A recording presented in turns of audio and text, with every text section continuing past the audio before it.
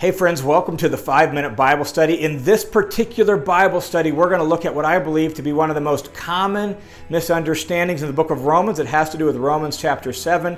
And by the time we're done with this video, you will know definitely how not to use Romans chapter 7 and hopefully how to use Romans chapter 7 a little bit better. So, welcome to the 5 Minute Bible Study. My name is John Whittaker. I release videos every Thursday just going through a text of Scripture and trying to connect that to your life because I believe Bible teaching ought to be blue jeans theology. That is theology for everyday life. And if that sounds like something that would be helpful to you, then just go ahead and click the subscribe button right now so you never miss an episode. All right, let's jump jump into Romans chapter 7.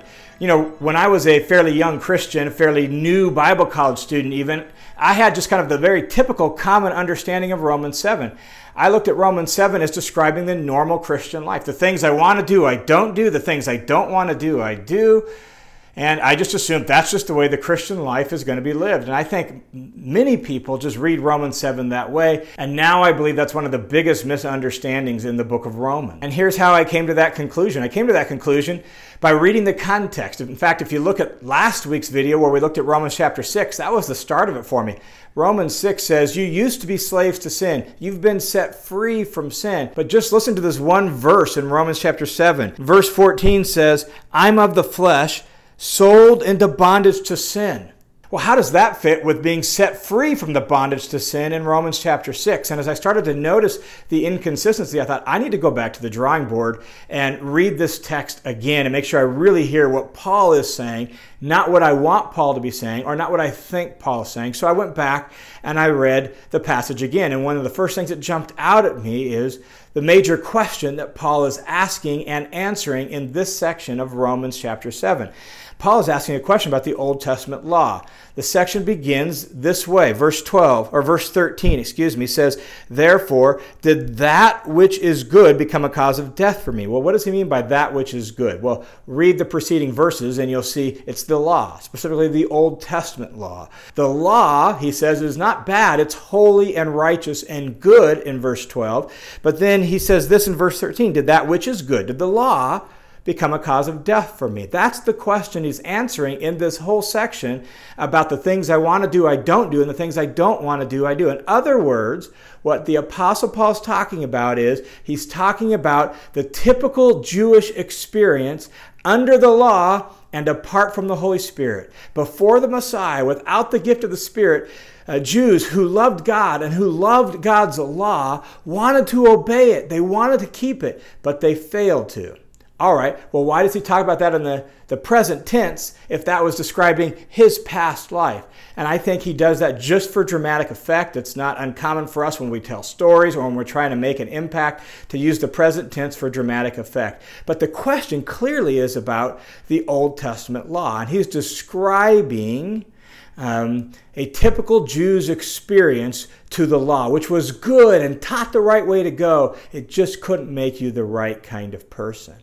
And so when he says the things I want to do, I, I don't do, and the things I don't want to do, I end up doing, he's saying that's what it was like living under the law. But hey, as a Christian, as a follower of Jesus, we still struggle with sin, don't we? Well, yeah, of course, we do. It's just our struggle is a different kind of struggle and needs to be framed up a different way. We're not in bondage to sin anymore. You got to check out last week's video if you haven't watched it. We've been set free from sin, Paul says, just a paragraph or two before this. So we're no longer slaves to sin. We're not sold into bondage to sin. Sin's no longer our boss, it's no longer our slave masters. We don't take orders from it. Yes, we still struggle with sin, but it's a struggle that we can have increasing victory over by the power of God's Spirit through the victory that Jesus won over the flesh. Just keep reading into Romans 8, and Paul makes that powerfully clear in Romans 8 1 through 4. And so, here's the thing we live in a world that is fallen. The devil is still alive and well. We're still in the same fallen body. And so, yes, we are weak and we will still struggle, but it's a struggle that we can increasingly win by the power of God's Spirit. So, What should you definitely not do with Romans chapter 7? Well, here's what you definitely should not do because I've heard this actually quite a bit when talking with, you know, followers of Jesus who are maybe struggling with a particular sin. You should say, "Well, you know, I've read Romans 7 and I guess if the apostle Paul, you know, for his whole Christian life just had sins he couldn't defeat and he was kind of, you know, powerless against, I guess that's just going to be my life too." No, that's not how to use Romans 7. That's not Paul's point. Paul never believed he was powerless in the face of sin now that he had the gift of the Spirit. What Romans 7 should do, the way we should use it is Romans chapter 7 should drive us to Jesus. Uh, Romans chapter 7 should drive us to the Spirit. Romans chapter 7 should make us realize we can't be holy and righteous by trying to keep the law. We can only be holy and righteous by walking by the Spirit. And so the the conclusion that Paul offers in Romans chapter 7 is this. He says right at the end in verse 24, Wretched man that I am, who will set me free from this body of death? Who will set me free from this struggle with sin? Thanks be to God through our Lord Jesus Christ. Jesus has set us free from the law of sin and death. Jesus and the Spirit has given us new power to live a holy life. And so we're not in bondage to sin. And we can obey God. And we can be holy by the power of the Spirit. And yes, we'll still sin and we will still struggle. And when we do, we simply thank, thank God for the grace He's given us in Jesus, that there is no condemnation for us. And we invite the Spirit to renew and strengthen us so that we can be pure and holy again. All right, thanks for checking out this study of Romans chapter 7.